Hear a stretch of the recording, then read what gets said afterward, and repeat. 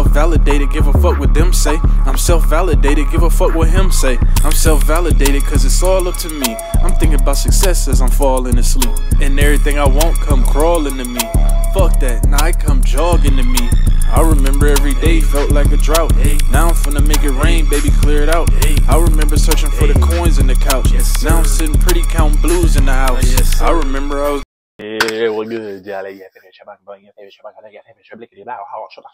Yeah, anyway, I'm yapping. Let's get straight into the video. I mean, like, if you're new here, you might be like, what the fuck wrong with this nigga? I'm gonna tell you not a damn thing.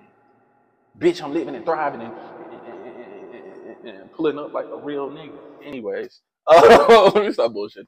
Today's video is really about a post that I made in my Discord the other day, and I just want to elaborate on it in video form. I made a post saying how or why Neville Goddard is one of the best manifestors and why it was so easy for him. And this ties in with um, taking social media breaks uh, and why that helps you. So let's hop straight into it. Um, I haven't said it in my previous videos, but if you need coaching, links below.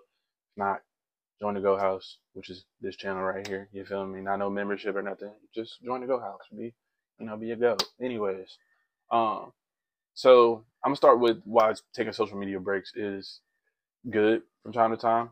Um, and then I'll lead into the point on why Neville Goddard was one of the best manifestors because they both go hand in hand. They tie together like this. They go together like chicken strips and fries. You know what I'm saying?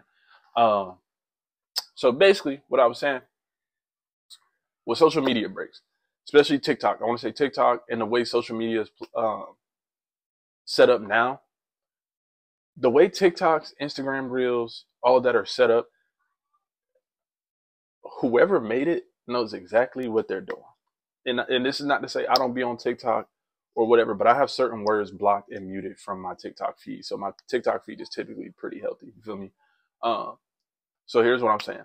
Y'all know how if you and if you if you're new here, I'm gonna explain this real quick. When I tell people to visualize, when I tell people to affirm or do inner conversations, I tell them keep it short, easily repeatable, easy to remember, right? And how are TikToks and Instagrams?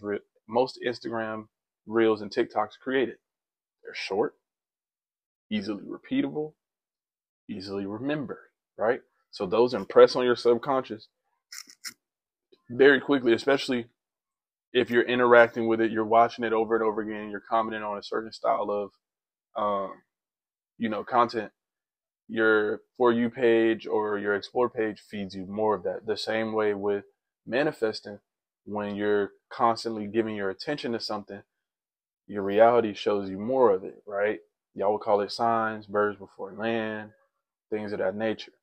So they're, bro, whoever created them, they know what the fuck they're doing. You know what I'm saying?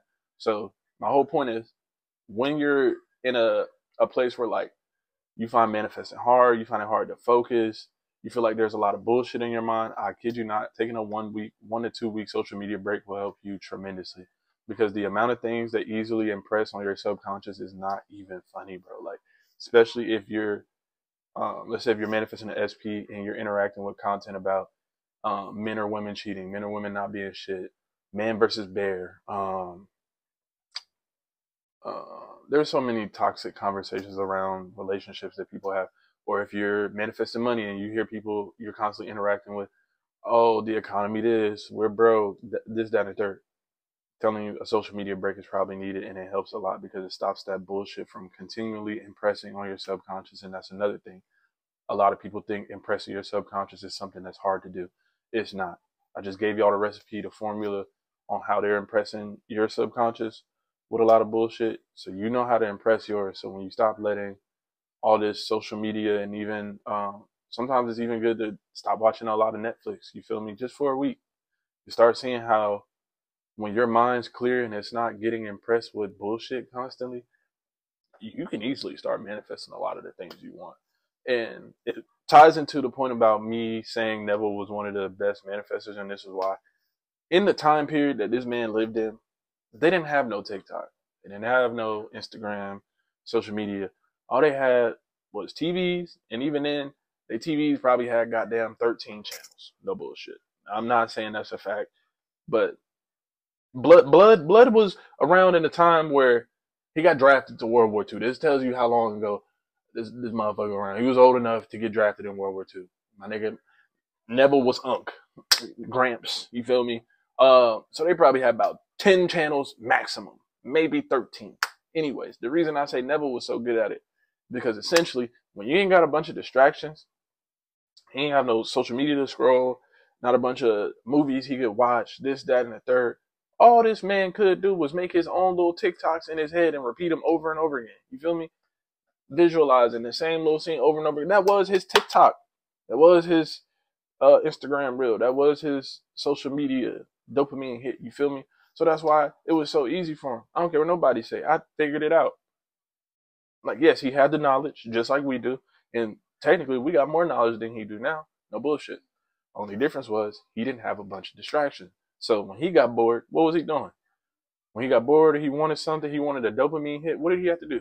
He had to make his own little TikToks in his head, which ties into my point about deleting social media or getting off social media for a little bit. You'll see why some of these OG metaphysicians were so good at it. They didn't have nothing else to distract them, dog. Nothing. So when they got bored, they wanted something. All they could do was create their own little TikToks in their head, and don't let that go over. Y'all don't let that go over y'all head.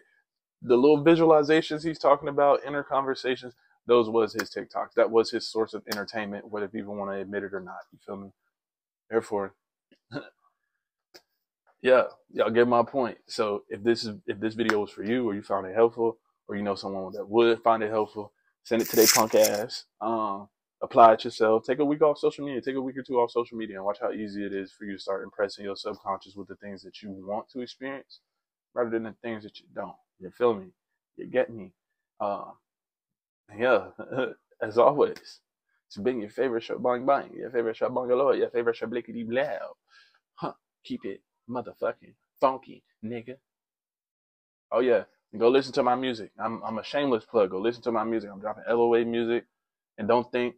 I know some of y'all might be like, oh, he can only rap because it's LOA. No, nigga, I can rap on some regular shit too. Don't get it twisted. I'm real life talented. You know what I'm saying? But go listen to that. I'm gonna I'm gonna put the link in the description along with all the other links that that's for coaching, all of that. Support a nigga, I support y'all. You feel me?